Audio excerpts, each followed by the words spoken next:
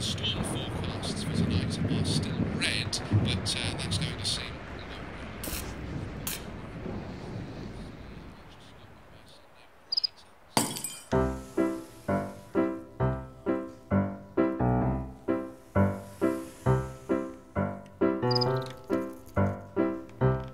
Thank